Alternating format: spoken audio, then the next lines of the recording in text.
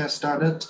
Uh, so, good afternoon, everyone. Um, thank you for coming to join our Department of Computing Distinguished Seminar series on data science and intelligence. Uh, thank you for all the friends, colleagues, uh, students, and many guests from uh, mainland China. Thank you for coming. So first of all, uh, our head, uh, Professor Lee, will give a opening uh, speech on this event. Thank you, Song. Yes, good afternoon. So uh, welcome to the uh, Distinguished Seminar Series. As uh, Professor Guo just mentioned, it's a distinguished seminar series on AI and the data science, organized by our Department of Computing uh, in conjunction with uh, the Data Science and the AI Lab. Uh, today, we are very pleased and grateful to have Professor Hussein Abbass from the University of New South Wales, Canberra, Australia, to help us uh, kick off this uh, distinguished seminar series by presenting the very first talk in the series. So uh, before starting the uh, formal business, I noticed that uh, you know, over uh, 220 uh, online participants, and they, we expect to have more to join us. So maybe let me briefly introduce our department for those of you who are first time to join our event. Uh, our department is uh, one of the oldest compute, uh, computing department in Hong Kong Tertiary Institute. And this year is uh, our 47th anniversary. Uh, the strategic areas of focus in our department are AI, data science, IoT, fintech, and uh, cybersecurity.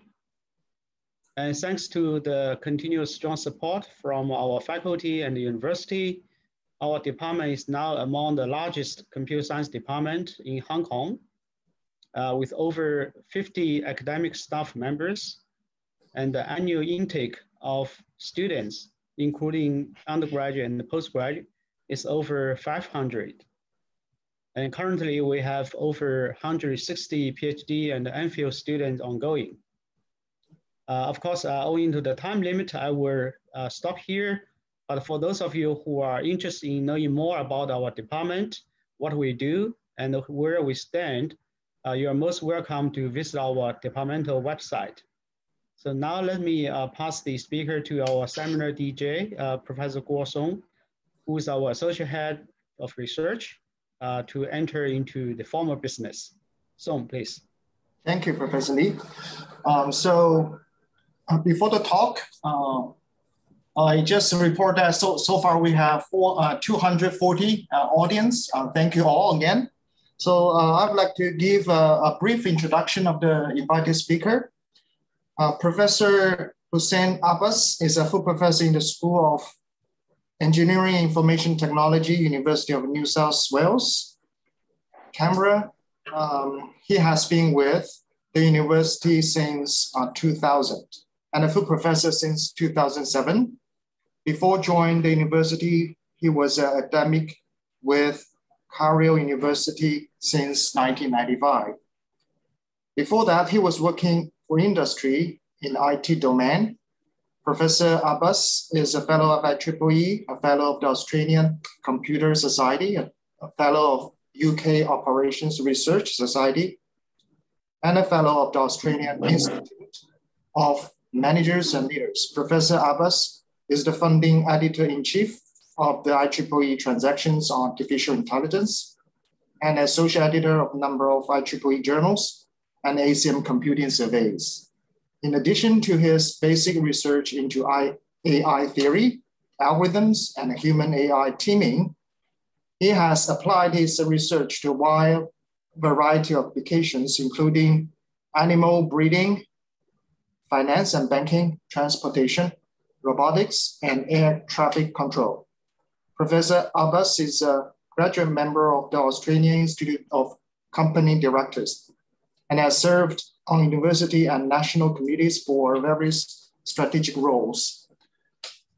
Uh, thank you, thank you all for attention and uh, let us welcome Professor Abbass for the invited talk.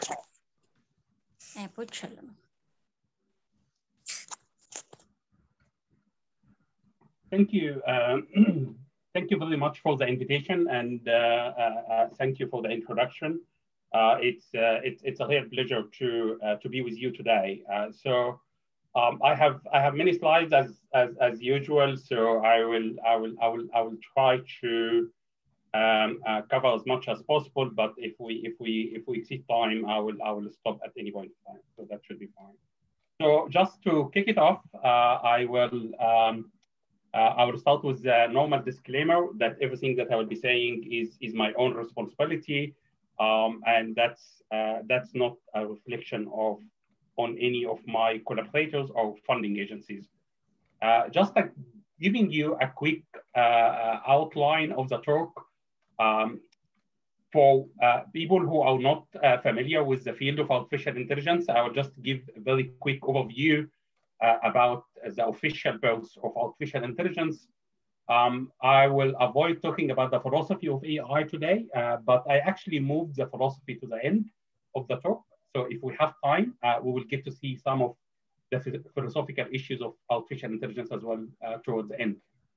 Uh, then after that, I will talk to you about the economic implications of artificial intelligence, and I will hopefully try to convince you uh, that artificial intelligence is really one of uh, the main uh, uh, technologies of today that almost everyone is looking at it. And it's, it's a lucky time for artificial intelligence researchers and students to be part of this community. Um, then I will show you some of the applications of AI, uh, but I will be biased. I will be mainly talking about some of the applications that I was lucky to be involved uh, uh, within these applications uh, so that I am able to tell you some of the underlying techno AI algorithms and methodologies that we've used uh, uh, in, in, in some of these applications. And with each application, I will give you an overview about the lesson that I have learned out of them. So I will go back as far as 25 years ago or maybe 28 years ago, um, and I will stop approximately 14 years ago. Uh, so I will, I will stop at this point of time because of the limited time that we have. Um, then I will move into some of the research challenges in artificial intelligence that we are talking about today. Um, and I will be mainly focusing on some of the algorithmic challenges as well as some of the social integration challenges of AI. Um, then I will conclude uh, the talk with the social challenges uh, for artificial intelligence. And that is the time I will get back to some of the philosophical discussions and the philosophical origin of, uh, of, of, of, AI. Uh, then I will conclude with some of the take-home messages. So let us uh, let us kick it off. And uh, some of the slides you will see um, a reference at the bottom of the slide uh, that you are welcome to have a look to get a little bit more information about the details if you are interested in these details. So some of the, my initial discussion have been covered in uh, the first editorial in the IEEE transaction uh, on artificial intelligence uh, uh, which uh, which appeared in at the end of 2020. So that is classically, when we talk about the birth of artificial intelligence, that is classically the paper that we would normally start with. Um, in my next editorial in the transaction, I will go much earlier than that. I will go actually back almost 2000 years ago. Uh, so look, look for this editorial uh, uh, to, to, to see some of the very early uh, discussions on AI. Uh, but that is normally the paper that we would normally look at when we are talking about the birth of artificial intelligence. And that is Alan Turing in his first paper um, uh, titled Computing Machinery and Intelligence. And the first section is a very famous imitation game, which I have a slide on it. Uh, my next slide will be on the imitation game, which is the test of or the classic test for intelligence uh, that we would be using. And if you really look at the first line in, uh, in Turing paper, you will see what he has written. I propose to consider the question, can machines think? And you would be surprised when you start reading this paper, you would imagine that Turing had strong views about the ability of machines uh, to think, but I encourage you to look at this paper. It's an open uh, source paper that anyone can download uh, without, without the need to uh, log in into any particular library. And it's a really nice paper to read. So I encourage especially PhD students working on AI uh, to start looking at this paper to get to see some of the initial thought processes that went into uh, uh, the development of AI. And Alan Turing is uh, quite famous for this Turing test. Uh, with the Turing test, um, I asked the question, how do I know that uh, a machine would be, would be uh, intelligence? So we need to have a test for that. And uh, interestingly, the first version of Alan Turing test was looking at having a, a human sitting in the middle. I call it the interrogator. This interrogator will be asking questions and what we have on the right and left-hand side, the first version that Alan Turing talked about is a male and a female. Um, and he said whether the interrogator is actually able to, dis to distinguish between the two. Uh, the interrogator need to ask them question, and at the end, uh, uh, this person in the middle need to decide is that is a male or a female. Then after that, what's going to happen if we exchange one of these players with a machine? So instead of having a male, uh, I will have a machine, or instead of having the female, I will have the machine. And the question will change from if this is a male or a female to another question, is that is a human or a machine? So this this has been criticized uh, a, uh, uh, a, lot in the literature, despite that it is, it is one of the most uh, uh, well-established tests for uh, uh, artificial intelligence. And uh, you can get to see some of the criticism in the first chapter uh, in one of my in one of my books. Then we move on in time, 1956, that was considered as the first potentially official meeting that called for the establishment of a field called artificial intelligence, uh, which was a meeting organized by four of uh, uh, key people uh, really in, in, in their own field from computer architectures and, and, and networking to cognitive, to cognitive science to information theory. And again, if you start looking at the proposal that uh, these people put to establish, uh, uh, to call for funding for a workshop Uh, that they met and established the field of AI, uh, uh, you will get to see what I have highlighted in the green light, in the green color. And the key about that is what I have uh, highlighted in a blue color. And looking at the change that happened from Alan Turing paper talking about can a machine think to the change here that uh, about artificial intelligence, uh, whether we can actually simulate intelligence uh, using a machine. There's a change of language and, and, and, and that in its own right, I can, I can talk about it for a long time, the difference between Alan Turing uh, question and the way the concept of artificial intelligence was posed uh, in, uh, in, in this proposal. So we moved from cognition about thinking uh, into simulating uh, uh, cognition uh, pretty much. So let me move away from these early days into what, what, what is artificial intelligence. And as I said in the next editorial for the transaction, I will be talking about that in details. But instead of giving you definitions today, I'll just give you uh, uh, uh, an overview of the field uh, from a technology perspective. So normally we'll be talking about artificial intelligence to predict something. So within the data science, um, this is the data science seminar.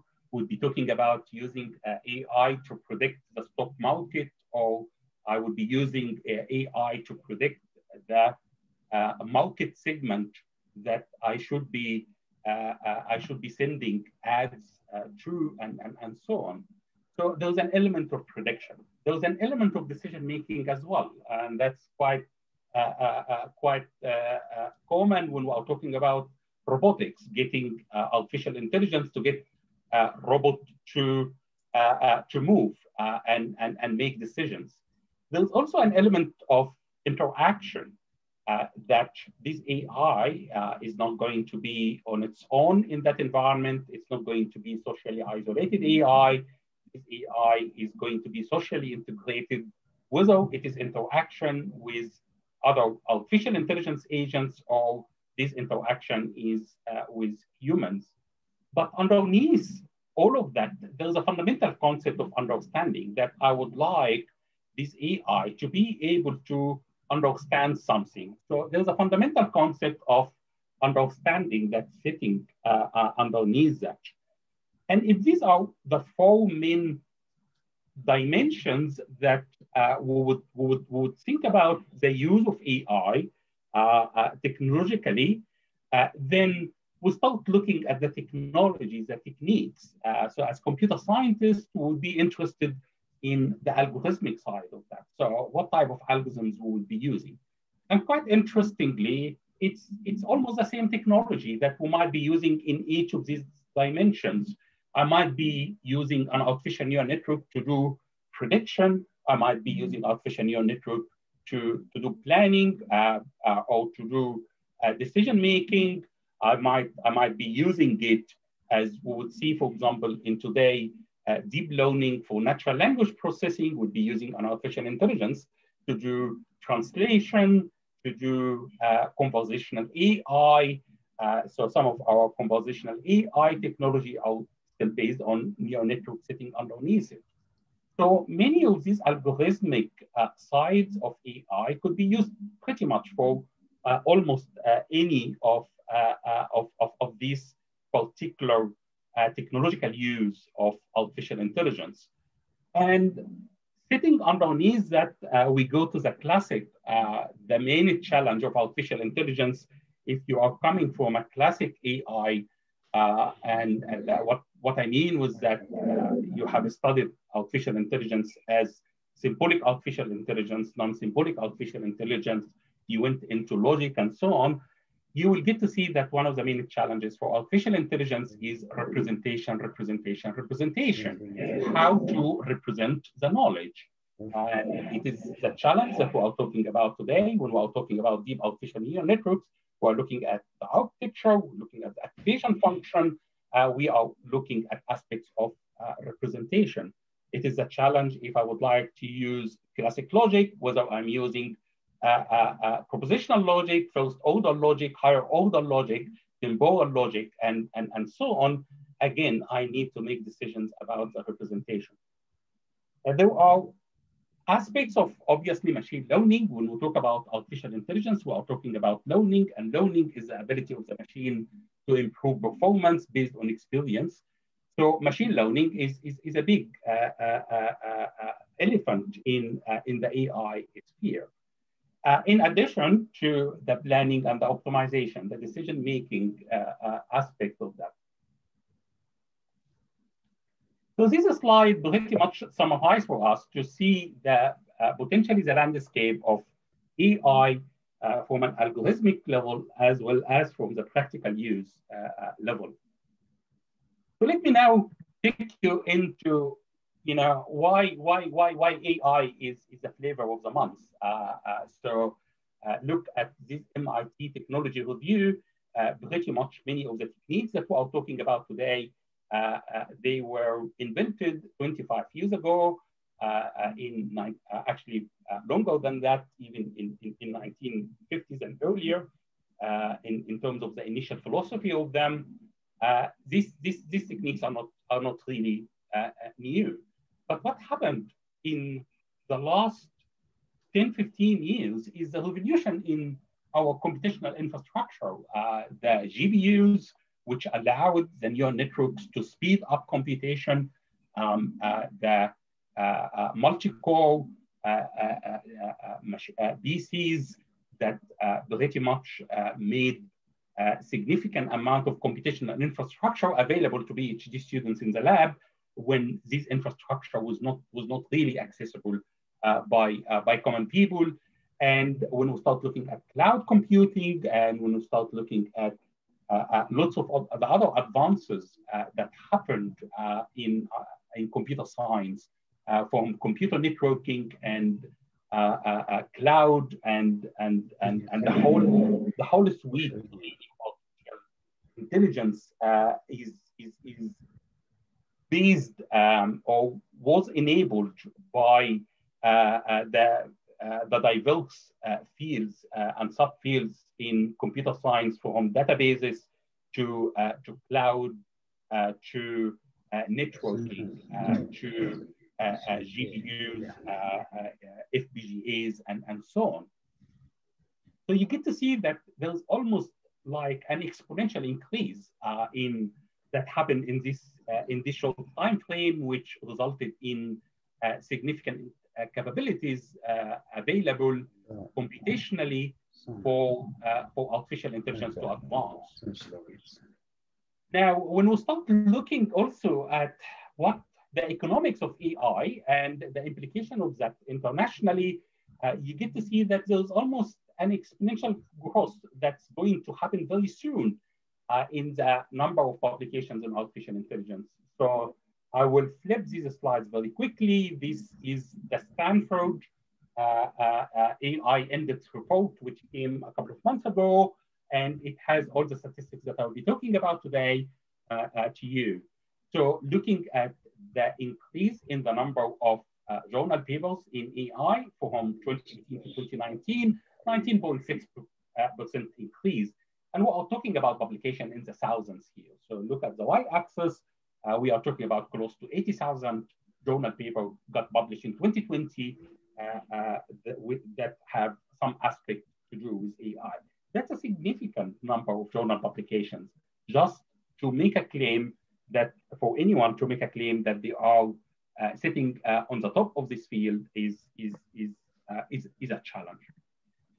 But that is not just about academic publications. Uh, look at the AI hiring index by, by country. There is artificial intelligence is almost taking over in terms of the job market. Uh, this is an index. Uh, so this index is relative to all other jobs which are available in the market uh, so that is uh, an index which is formulated based on AI jobs against every other job.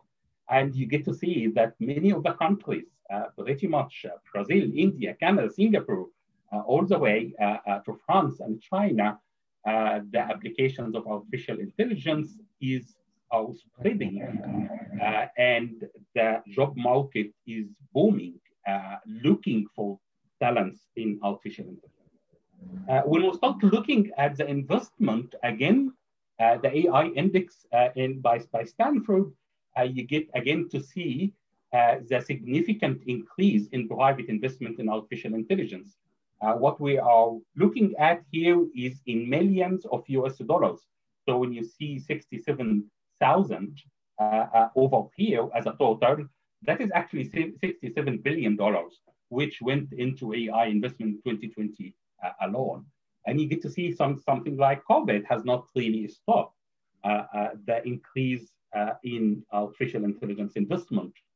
Now, when we move to look at the private investment in funded AI companies, again, it's a continuous increase.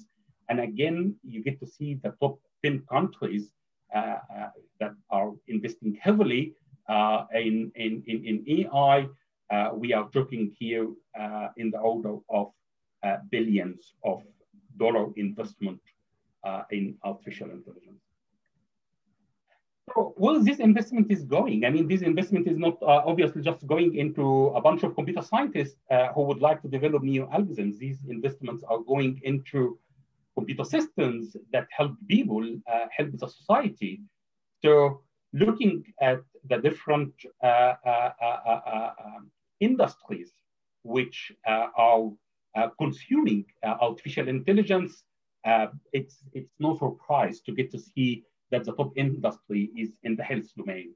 Drugs, cancer, um, drug discovery, uh, there's a significant increase, and obviously we could contribute some to that to COVID, uh, COVID uh, in 2020 in investing AI for health. but that's not just for health. Uh, look at uh, uh, using artificial intelligence for education.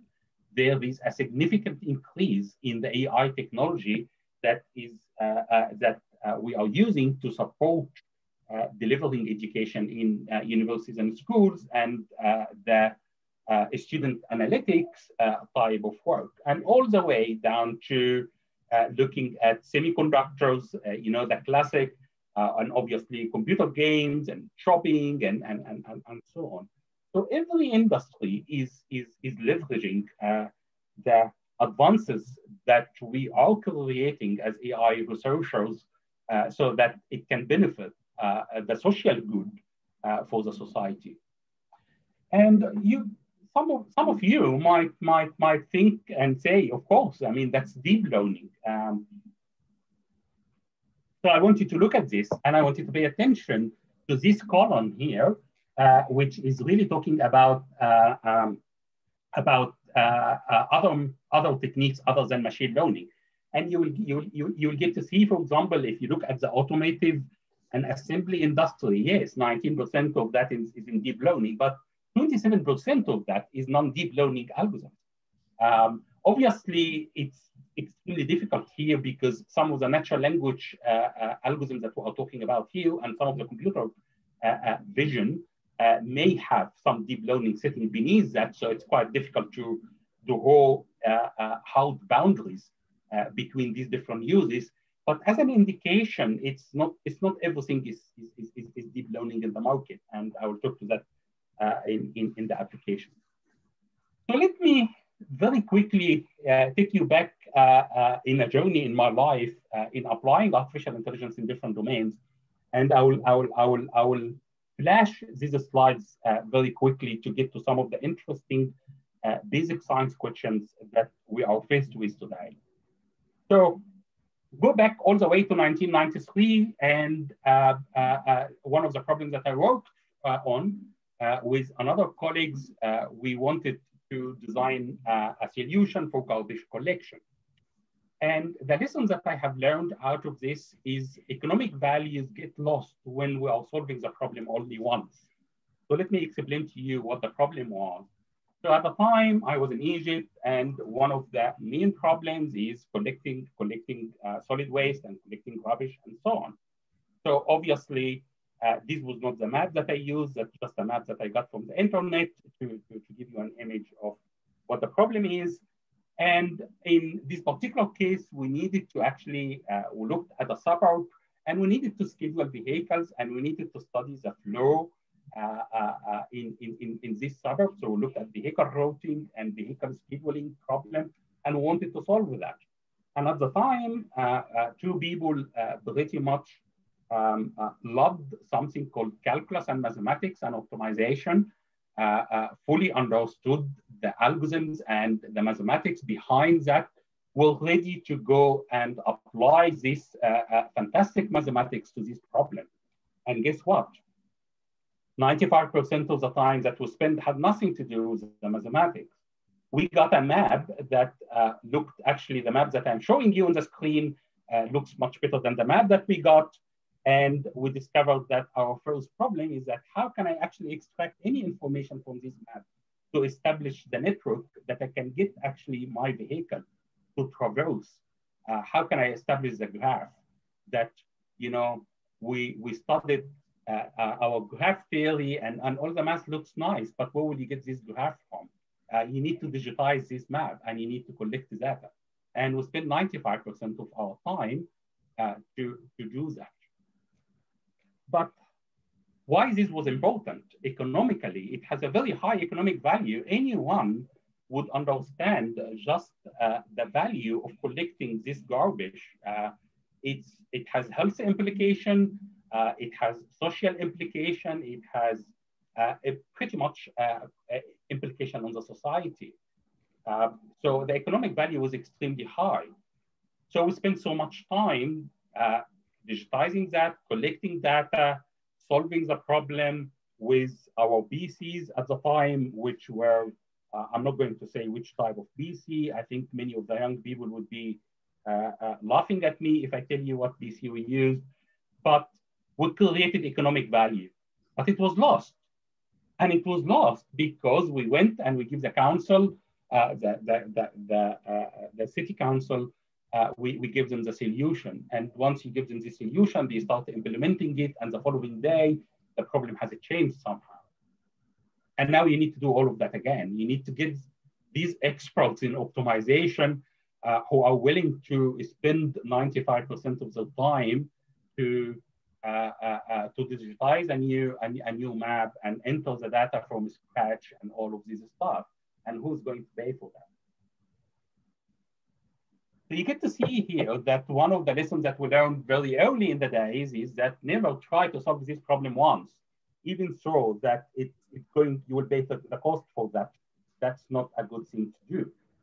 Then I will move to 1996, where I had another problem and that problem was uh, in chemical process engineering. Uh, we were looking at uh, something called heat exchanger networks. And the mathematics uh, is not enough. Uh, that is a lesson that I have learned from this problem. Again, uh, but from a different perspective that I will talk to you about. So that was a problem that we were looking at at the time. heat exchanger networks, think of them as flow of cold and heat. And when these flow meet each other, so you have pipes and you might have hot water and cold water flowing in these pipes. And when the hot stream meets the coldest stream, they will exchange energy. So heat exchanger networks is, is, is, is, is a significant technology used especially you know, for uh, cold countries, but also in, in, in certain type of industries, uh, very significant technology. And quite easy to come and say, if I have an, a new network that I would like to design, uh, we, have, we have mathematical models to do this design. But the challenge here is that in the city, uh, at the time I was in Edinburgh, uh, they, they, had, uh, they, they, they had existing networks. So you can't really just design it from scratch. What you are stuck with is the existing network uh, infrastructure that you have and you need to do what we call retrofitting. Minimum changes in the network to improve the performance on the network. And that has a extreme economic values, uh, very high economic values in terms of saving energy and so on. Um, so that is, that is uh, some of uh, the things that we used to play with.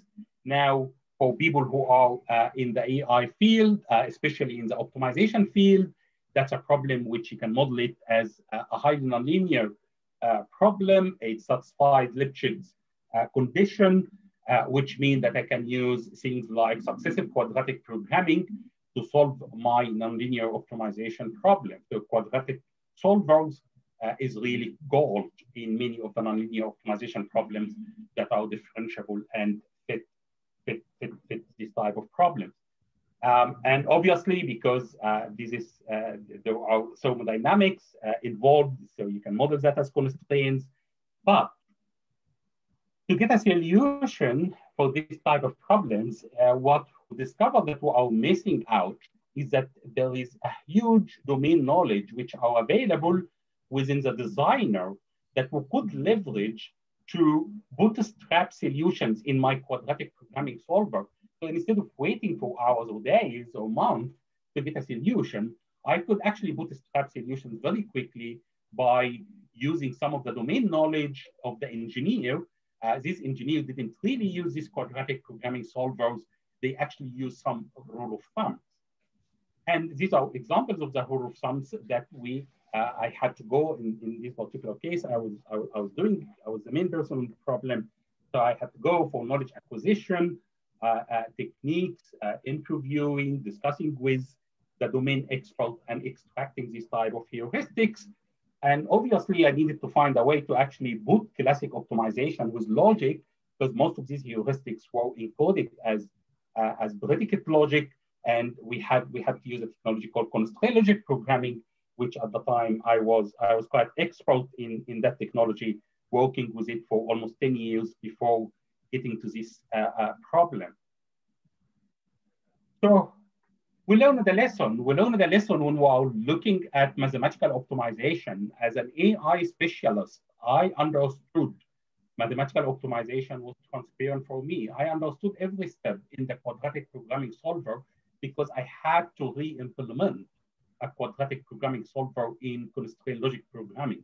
And for anyone working with quadratic programming will understand that this is an extremely challenging task because of numerical instability that you could generate because of 1 million things that can go wrong in the design of this solver. But for me, the technology was transparent. For the user, this technology is complete black box. Nobody really understood what's coming out of this mathematical optimization problem. For the heuristics, the heuristic were transparent for me. I understood them because I went and I did the knowledge acquisition. The user also understood the heuristic uh, that, uh, that, that we came up with. But when we look at the quality of the solution, my quadratic solvers, I was able to give bounds on the quality of the solution. I could give uh, bounds on the optimality for the user. That's a costly solution because it took time to get a solution out of the system. The heuristics, I can't guarantee that they will always work. Uh, for the user, the heuristic made sense. It's what they call fit for purpose.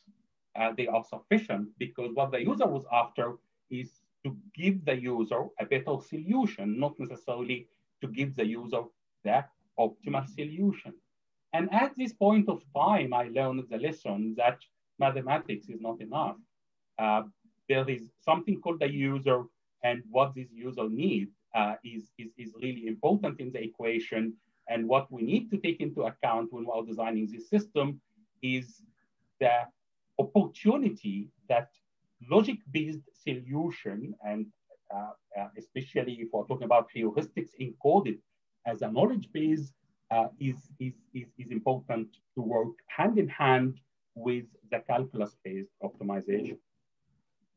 I move in time to 1998 when looking at, uh, at, at, at, animal genetics and the idea was in, in the artificial insemination program, looking at analyzing a, a database of uh, uh, uh, the genes coming from cows and bulls. Uh, and what one uh, of the main lessons that I have learned is admitted. It doesn't need to be that machine learning is going to be better than every classic algorithm that we have. If machine learning does not work, admit it to the sponsor or to the, to the user because there's no point of using something less efficient. So what was the problem? The problem had great economic values, uh, uh, uh, in, at the time in, in, farms in Australia. We had close to 14,000 farms. We are talking about $3 billion in, in the wholesale for, for the milk value in, in Australia. Significant problem. Uh, but when you start analyzing some of the data at the time uh, that I spent months to extract this data from an Oracle database and to clean it and to do all the data science stuff, um, and you end up modeling that, you discover that classically, when people talk about using linear models in that domain, they, did, they did not mean classic linear regression model. What they were talking about is something called generalized linear models. These are highly nonlinear models, and they are extremely efficient to construct uh, uh, uh, quite similar to radial basis function, or if you're talking about kernels in support vector machines, or, or whatever your favorite technique and doing transformation is. So when you start looking at that, the Bayesian network that were built at the time and the neural network could not really compete uh, in accuracy and efficiency against that. So we had we had to switch uh, to switch tactic and we start looking at uh, other aspects of the problem, looking at the classification side and the neural network and the Bayesian networks were performing extremely well on the classification problem, but not on the point prediction problem. And we start looking at providing a system as a solution, not just a model, but a system, a system that combine data mining with optimization with simulation. Now I am running out of time, so I will start speeding a little bit faster going into some of my uh, uh, early days on Canvas, uh, looking at uh, uh, RoboSoccer. Um, and I'm not expecting that the frame of the video will come to you clearly, Uh, but again, uh, very quickly, what we learned in this experience designing this type of algorithms to play uh, robo soccer, if you get to see the real video, you will get to see that the ball will move faster. So you may not be able to catch this if you have a low network connection. But this, this, this, this type of algorithms, you'll get to see that they are actually not sufficient. Uh, as soon as you start touching something in robotic, you are dealing with a system and designing an algorithm does not solve the problem. You need to think of the system as a whole and reality is messy and you need to be able to deal with, mess, with this mess. Uh, another problem which I would escape is in air traffic control. That's a problem which took significant amount of uh, uh, of my life uh, to many years to uh, contribute to that domain. And again, the lessons that I have learned out of this is you could come up with win-win solution for everyone. Um, saving the environment does not mean loss of monetary value. Uh, saving the environment can also save can also save money. Um, and the other thing that we've learned in this problem is that it's not always about solving problems. Sometimes finding problems is more interesting uh, uh, uh problem definition. So that's that's a problem which pretty much captured almost uh, every type of AI that you can think about for home uh, classic trajectory planning, flow management, uh, to all the way to actually dealing with EEG data and uh, uh, human uh, integration, integrating human brain in the air traffic control environment. Um, and I will conclude the last problem uh, uh, to talk to you about today is a problem that we looked at in early 2007, and this problem, we're still looking at it, how to connect the human brain to the machine uh, uh, or to the AI. Um, and uh, that's, that was some of the early work that we've, we've, we've done looking at the, the work with EEG data. Let me, let me now share with you, uh, moving away from application into research challenges, uh, so let me share with you quickly a few research challenges uh, which uh, we are faced with today. Um, data science, uh, we are looking at how to dis automatically discover associations in the data. Uh, causal inferencing and causal networks, this is, this is really a hot topic and it's a very difficult topic. You can't just screw a technique at this topic to, to, to, to solve it. Uh, but we've contributed to some of the algorithmic development uh, of, uh, uh of, of, of, this type of um, uh, dynamic and automatic generation of relationships. So for example, what I am showing you on the screen is one of our most recent paper, which is a generalization of the autoencoders that can discover relationships between, between variables and you could use this to, uh, uh, to reconstruct uh, some of the missing data that you have, and you could use it for other purposes as well. Uh, another, another problem, which is uh, a fascinating one, uh, which is driven by deep learning. for people who are working with deep learning, today we are talking about the ability to feed a whole graph into a neural network. It's no longer the old days that we have to extract features and uh, we make these features independent of each other, uh, our ability to deal with complex data structure uh, as an input to a neural network. Uh, what I'm showing you is looking at the graph convolution neural networks, but let us let us start thinking about you know different type of uh, complex data structure. That's that's a that's that's a challenge that we are faced with today. Uh, how we can actually feed this type of complex data structures into our neural network. Now, I will start moving now from this algorithmic uh, uh, uh, perspective to AI into some of the social integration. And trust is a huge topic. Uh, you could have the best algorithm that you can ever design, But if the user is not going to trust that, nobody is going to use it. So what is trust? Just to unfold the concept of trust. We worked significantly on this topic, uh, looking at trust. And the more you start looking at trust, you'll discover that it is not just a sim simple equation that you come up with uh, that you think that you've solved the trust. It is again a system that we need, we need, we need to look at. And I invite you to look at this topic because it is fascinating. You can contribute to it, whether you are a social scientist, uh, whether you are a psychologist, uh, and whether you are a computer scientist who's interested in developing algorithms. Uh, it, is, it is one of the biggest challenge in AI today. And obviously, the classic uh, challenge that everyone is talking about, uh, explainable AI. Uh, uh back almost uh, 10 years ago, in our system, we were delivering explainable AI. We did not talk about it as explainable AI, but we talked about it in terms of taking the user into the design. So that's the air traffic controller, and the air traffic controller is getting an advice from the recommender system. And what is sitting behind that fields of optimization and computer science algorithms. Uh, but, but the user does not understand that. The user needs to learn English to be able to deal with that. And that's uh, some of our most recent work about uh, explainable uh, uh, artificial intelligence coming up with the architecture, how we can actually design uh, the integrated system. this is a paper which has been accepted in the IEEE Journal of Automatica uh, and it's available online.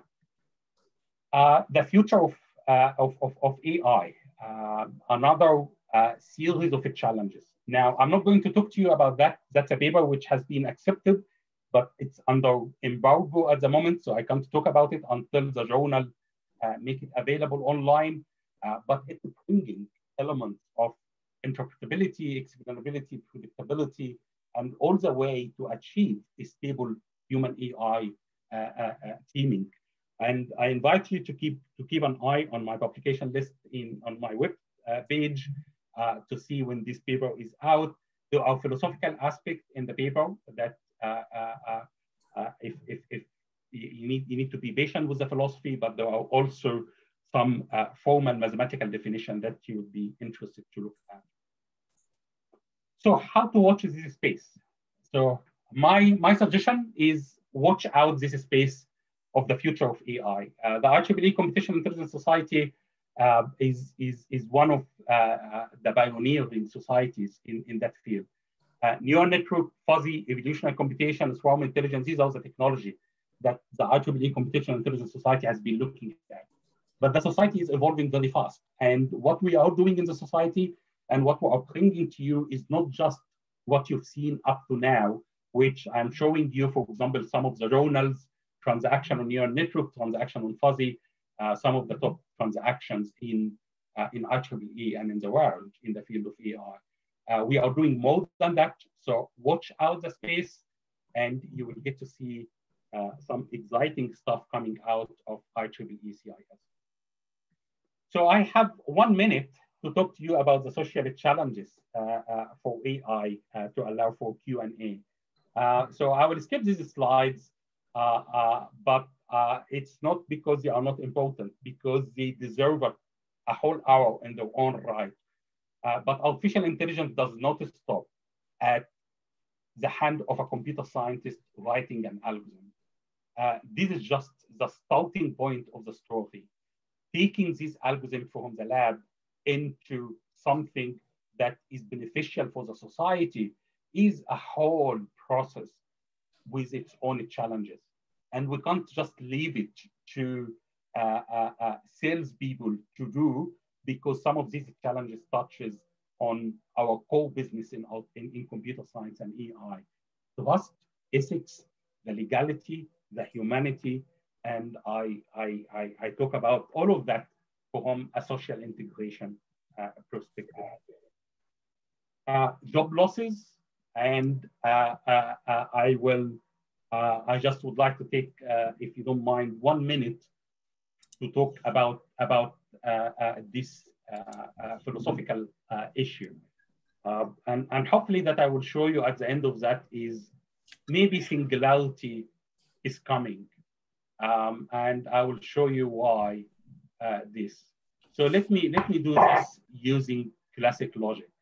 I will start with an axiom and I will use uh, BAI, that is before artificial intelligence, uh, because all the slides that I will use to create these axioms are actually before Alan Turing uh, talked uh, about uh, machine thinking.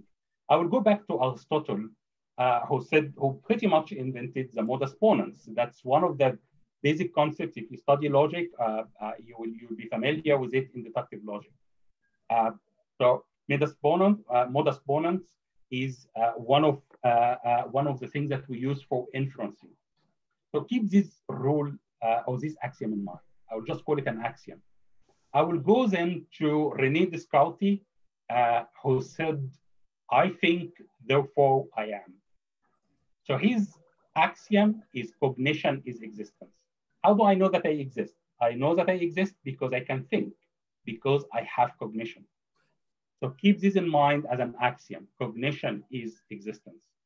Now, all of these five axioms, you will find them in the, in the first editorial of the IEEE transaction on AI. So uh, you could go and read, uh, and also in the next editorial. Moving from that to David Hume, who I have, I was fortunate to write a whole paper about, about uh, causality and disagreement about causality, who said that cognition is computation. Moving to uh, George Boole, who uh, invented Boolean logic, who demonstrated that and or and not are sufficient uh, operator for universal computation. So I can, I can compute any function using these three operators. Maybe the formula will look very ugly, but still I can. And I will end up with uh, the last axiom uh, from Herbert Simon, who said that the real complexity is not coming from the agent. The real complexity is coming from the environment. The agent is simple. The complexity is due to the environment. Now, let us put all of these axioms uh, uh, together. Cognition is existence. Cognition is computation.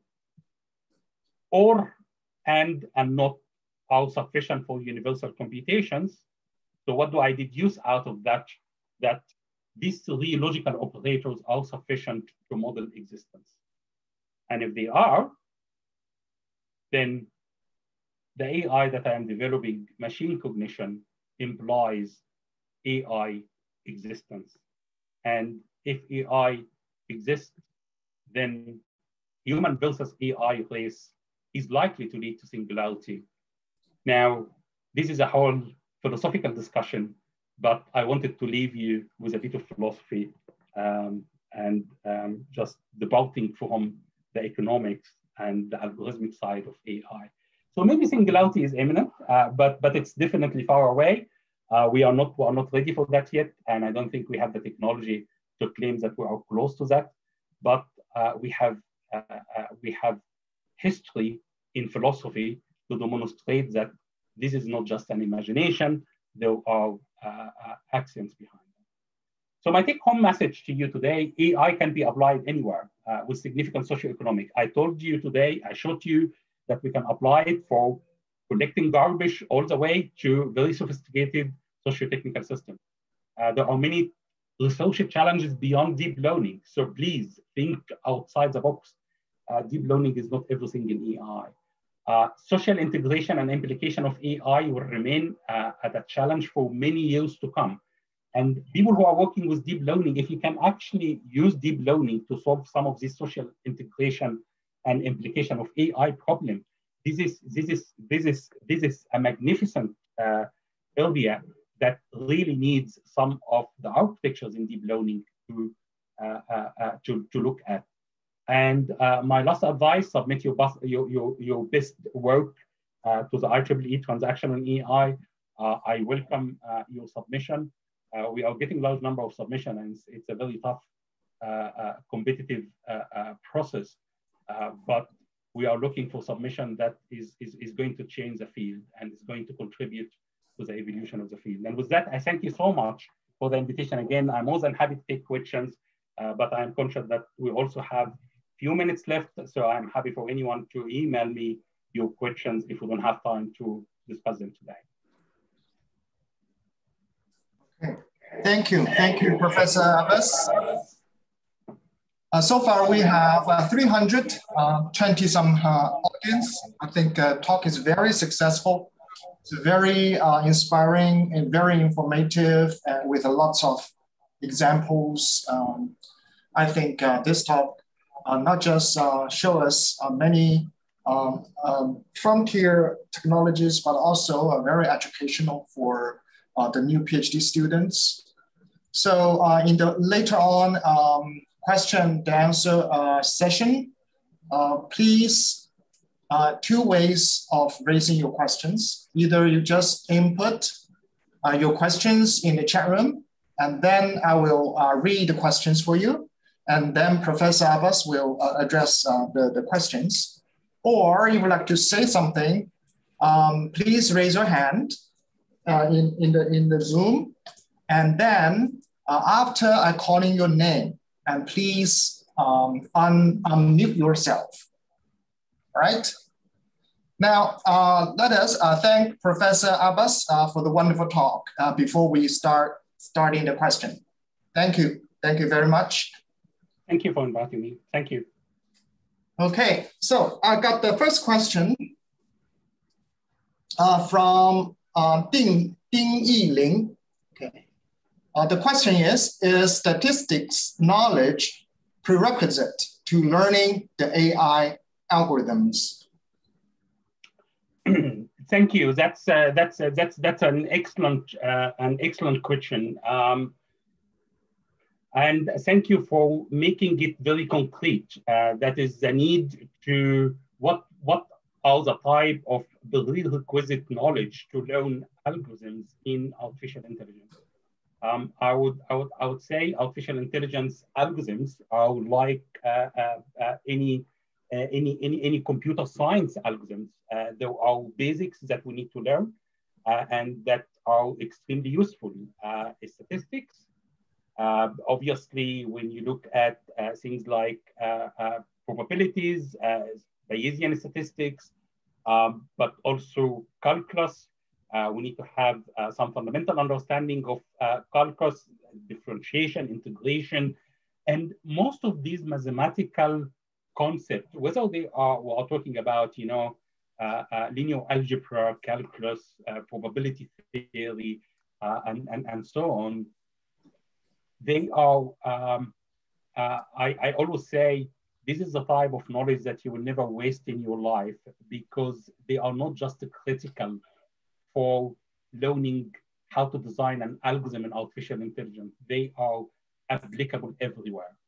Uh, so statistics definitely, I would I would I would say uh, we we need we need we need uh, to learn some statistics. And obviously, machine learning there are uh, uh, many statistical inferencing techniques uh, that, if you would like to understand them, you need to have some basic understanding of statistics at least. Okay, thank you. Uh, because of time, I, I, I, think we, we, we, we just jump into the next question.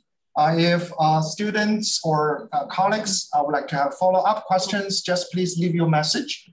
So the second question is from Yu, Yu Ming. Uh, are you going to speak out? if you want to say, please unmute yourself and raise your question. Okay, thank you, Chairman. So um, uh, thank the Professor uh, Abbass for your uh, wonderful talk. So uh, my question is now currently we talk about the AI, mostly focusing on the weak AI. So how about the strong AI? So uh, what are the main challenges along this direction at the current stage? Thank you. Uh, thank you. Uh, yeah, I mean, the, the, the, the, the strong AI, uh, obviously, I touched a little bit uh, uh, uh, about that, and I think I think I can. Um, I don't have time to talk about my philosophical perspective about the use of the concept of weak and strong, but I, I believe I understand what you what, what you are saying. I would say that um, uh, the main the main challenge for strong AI uh, remain to be computational complexity. Uh, so uh, computational complexity is still a, a bottleneck Uh, in, uh, uh, in, in, in, the implementation.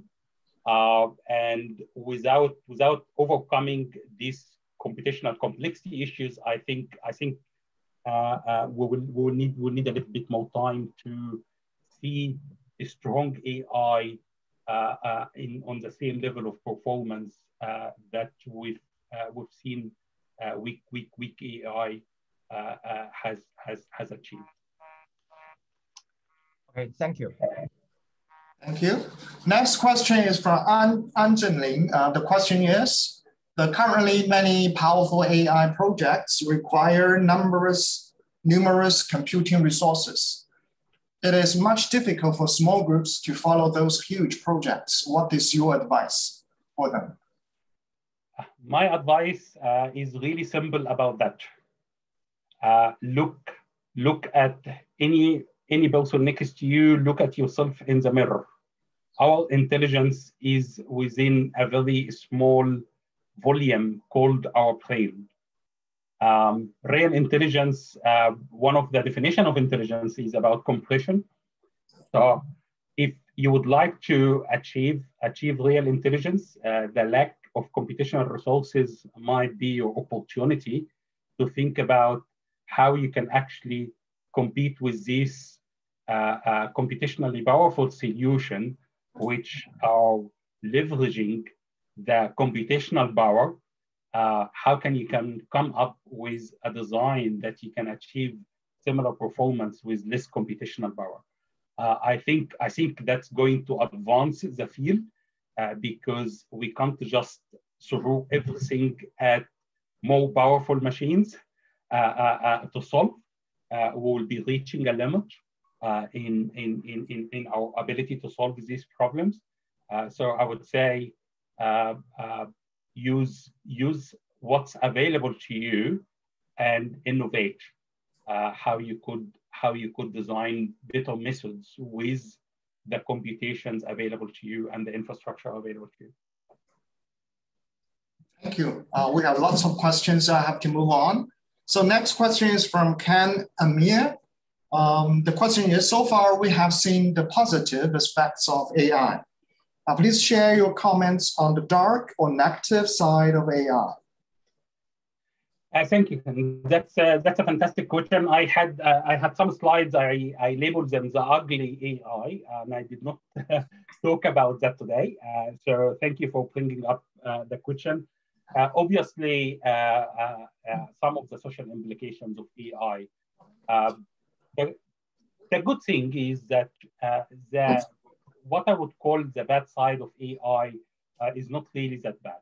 So you start looking at, for example, the implication of AI on uh, on, on, on, people life, uh, bias, uh, or, un, uh, or uh, some of the misuses of artificial intelligence. I think with, with, with most of these issues that could lead to misuse of, of, of, of AI, uh, as AI researchers, it's our social responsibility to understand the issue and and and and and, and, and solving solving it. Uh, I had a slide, for example, about uh, uh Nick uh, uh, and I had other slides. for example, chess, the, the, chess player talked about, uh, you know, um, uh, he was the first one uh, who got impacted uh, uh, with artificial intelligence, when AI uh, won chess, he retired. so he lost his job. and I think his perspective was, is really interesting, which was published in the Wired magazine a couple of years ago. he said that the problem is not really with, with AI. The problem is that 98% or 97%, I can't remember the exact percentage, of the jobs that we are doing as, as, as, humans uh, are jobs which could be automated. And what we need to do is to start thinking about creating more jobs for humans that rely on our human abilities to think and create rather than doing the same thing over and over and over that automation can do on our behalf. So there are uh, social implications of AI, but I am an optimist and I believe that there are also social fixes for these social implications. And the AI community, uh, including myself, uh, we, we, we, we are really looking into that. Um, and we believe that many of these challenges uh, uh, will, will, will, will be solved. But, but, but we, have, we have to keep, to keep working on these challenges. Thank you. Um, so next question from Ran Chan. Um, please unmute yourself and speak out. Hi, uh, Professor, can you hear me? Uh, yes. Uh, Professor Abbass, uh, thanks for the wonderful talk. Actually, uh, I've been serving at the EE for TI for a year now with you. Uh, during the year, I, I can see the faster development of the journal. so the question is kind of general. Uh, for myself, I've been working mainly in EC, EC area. So we try to build uh, versatile algorithms for solving black box problems. But um, sometimes when people talk about AI, they would like to put it in some application scenarios. So I wonder if it's the right direction to work towards, uh, towards gen general AI, or shall we uh, work towards some AI specified for different applications? Thank you. Thank you, thank you, thank, uh, thank you for the question, uh. It's really a uh, great opportunity to talk to you uh, and hear your voice today. So, the choice, the choice of the direction, there are many, many aspects that uh, that that influence this choice. I would say, as a researcher, you should choose the direction which you really enjoy um, because you. you. need you need to choose something that uh, you believe in and you enjoy and and you can innovate. So, but I understand that, that obviously there are other other pressures on us as academics that influence our decisions. So, applications I think is um, uh, a, a, huge opportunity for uh, artificial intelligence. Uh, the challenge uh, for whom for him publishing about the application that I could I could comment on is that when people send a paper about an application of an AI algorithms, um, normally they would they would uh, be positioning it as uh, I have I have I have these algorithms that I've been working on and I have this application and I apply yeah, yeah. and it worked. Uh, and, and, and that does not really advance uh, uh, knowledge much. Uh, I think within the transaction, we extremely welcome applications, but the people needs to highlight what was the challenge. Uh, what is the difference between you know, getting a, a, graduate who learned about neural networks or deep neural network and we give them some images and they applied the deep neural network on the images and they got 2% improvement. Uh, that's, that's great.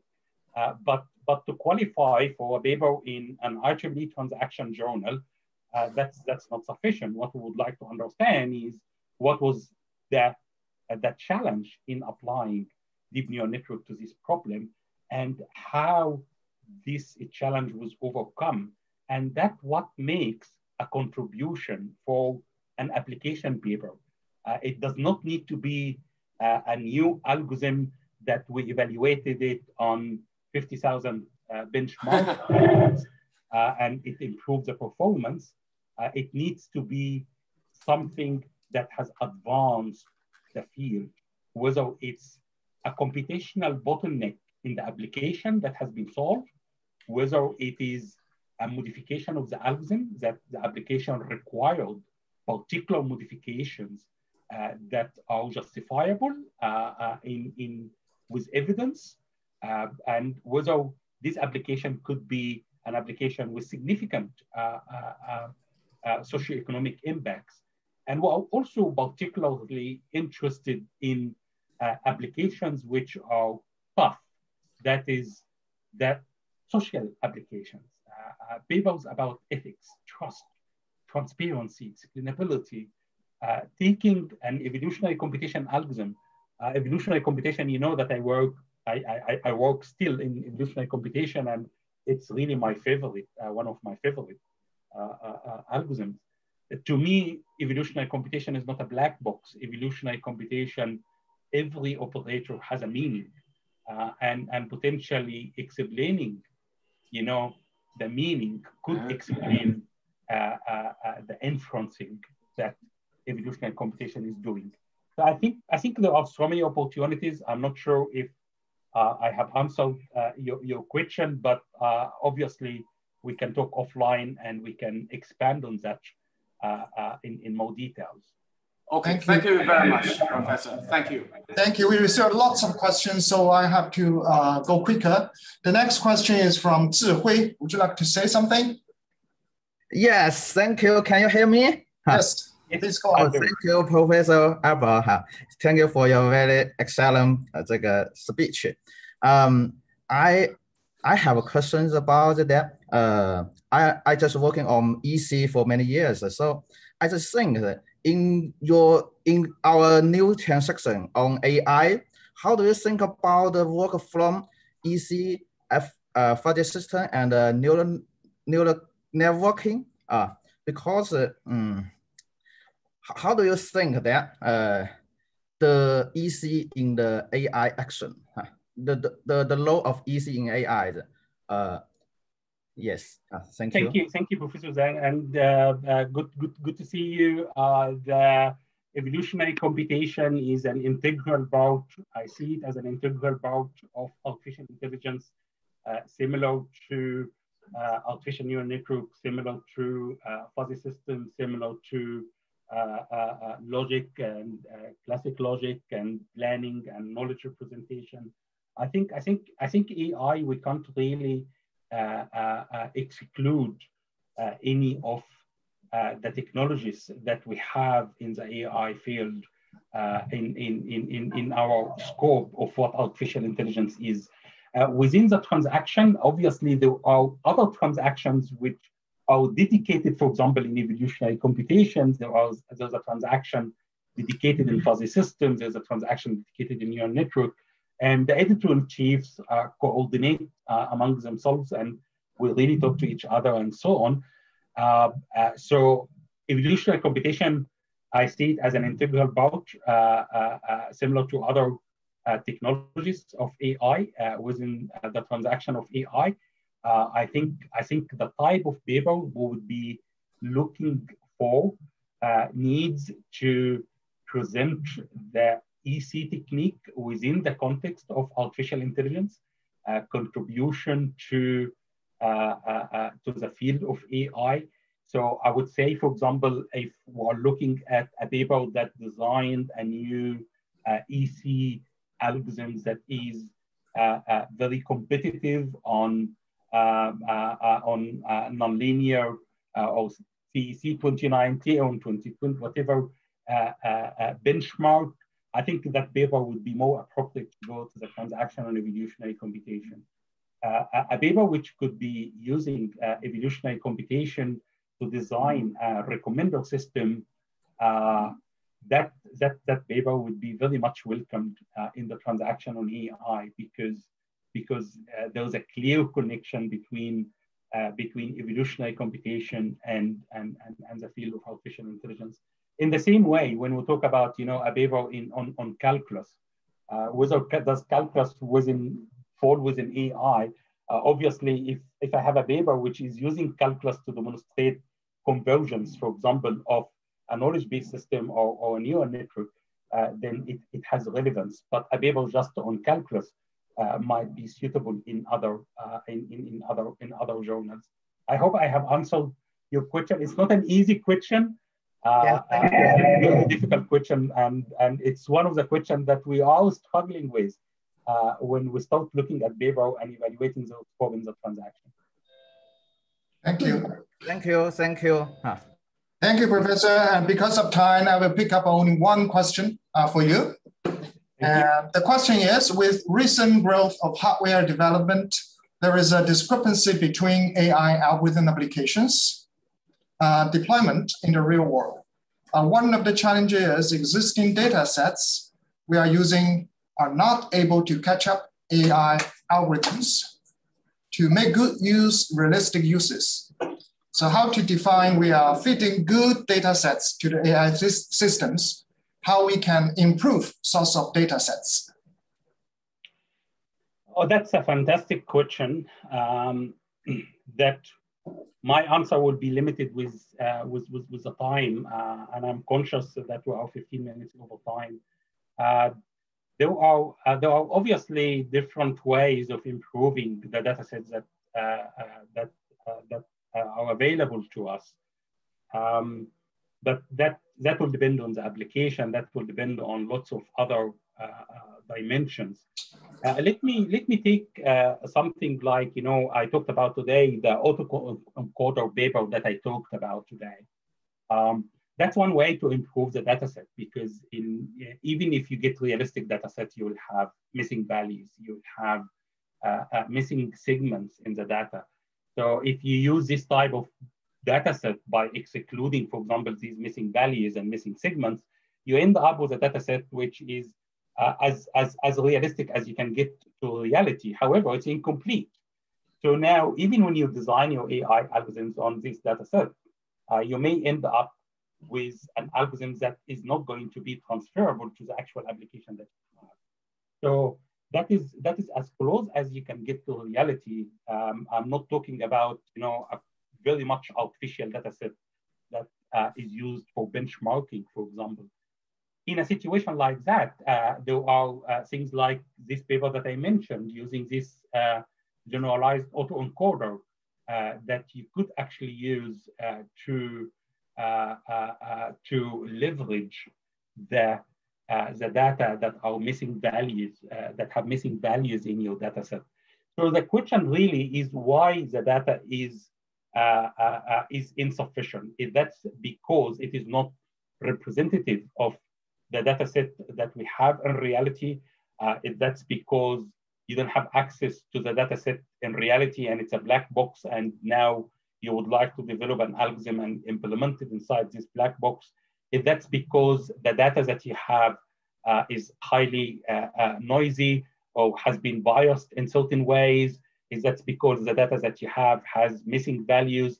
Is that because you did not capture all the, uh, uh, uh, the, the, variables in, in, in, in, in the problem is that's because the data has been processed and you got access to the processed data.